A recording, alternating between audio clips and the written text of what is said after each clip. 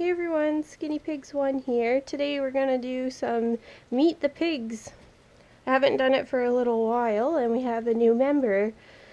So starting over here is a 2x5 cage that has Bullseye and Butterscotch Ripple. Now Bullseye, I had adopted him off Kijiji. He originally, I was trying to pair him up with Littlefoot, but it didn't work. So he ended up going alone and Littlefoot alone. And now Butterscotch Ripple, she is a spayed female, meaning she's fixed, there's no babies. She came from Piggles Guinea Pig Rescue, and I adopted her to be Bullseye's buddy, and they are great friends. And she's really coming along now. She's getting a lot more used to the routine here, and she doesn't always feel like she has to run and hide. So that's really nice to see. So I'll just show you overview of their cage. And we got these here from Twilight Chinchillas, just little garlands to decorate the outside of the cage. And they also have one of the chews in the cage.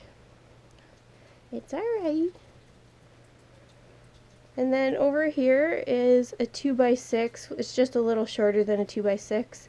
This is Littlefoot and Butter Pecan. Now Littlefoot, I had adopted him off Kijiji. And then, as I said before, I adopted Bullseye thinking I could get them to be friends, but that didn't work.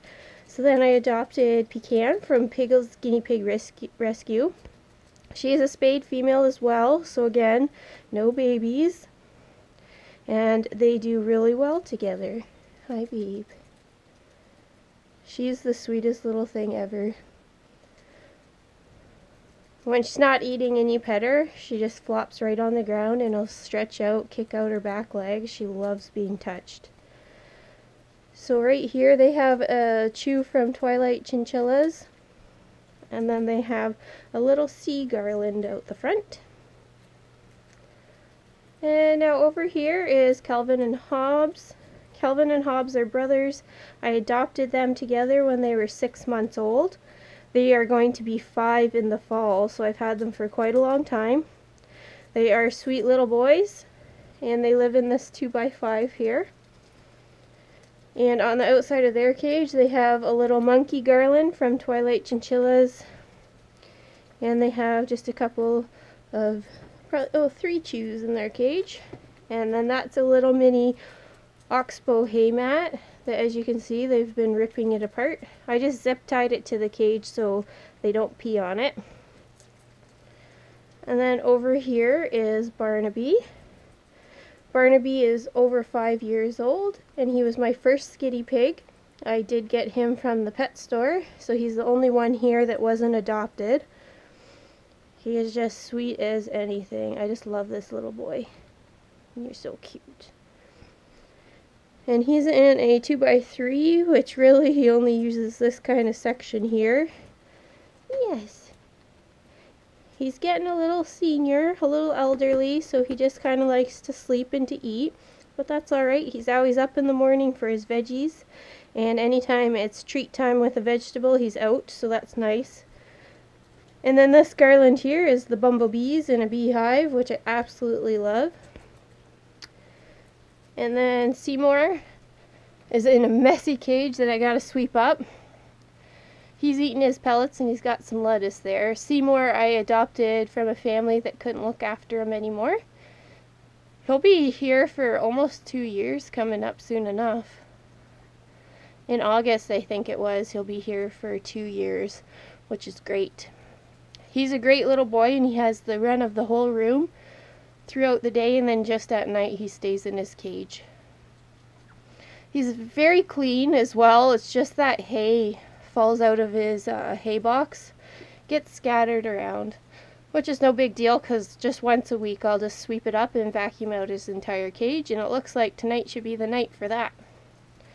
So those are my animals that are in this room.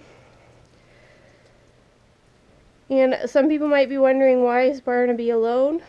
Barnaby actually has really bad arthritis. And this is his Metacam right here that he has to get daily because otherwise he's extremely sore and grumpy and doesn't want to move. So just at this point, I just don't think it would be fair to introduce him to someone and have them, you know, make him move around, push him around. What if they block him from eating because they're really bossy? So it just worries me too much that it just would be very stressful on him.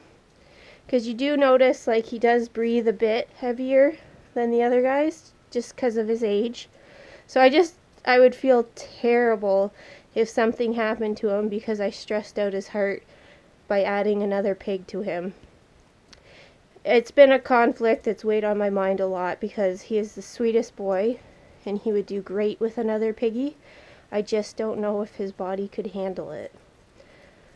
But he's very happy and I do try to give him obviously as much attention as I can, which I do know does never never replaces another pig. But it's just it's too hard. If he didn't have the arthritis, I would totally do it. But his arthritis is bad enough that he gets very stiff moving around. So anyway, that is all the little pets. So thanks for watching.